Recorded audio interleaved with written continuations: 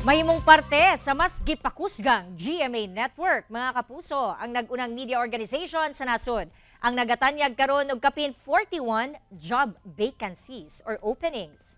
Gikan Senior Graphics Specialist, Senior News Content Specialist, Senior Project Manager, Senior Promo Writer, Senior Visualizer, Social Media Head, Social Media Specialist, TV Transmitter Technician, ug Video Research Specialist. Alang sa tibok nga detalye ug requirements, bisitaha lang ang careers.gmanetwork.com. Be the next gen, Kapuso!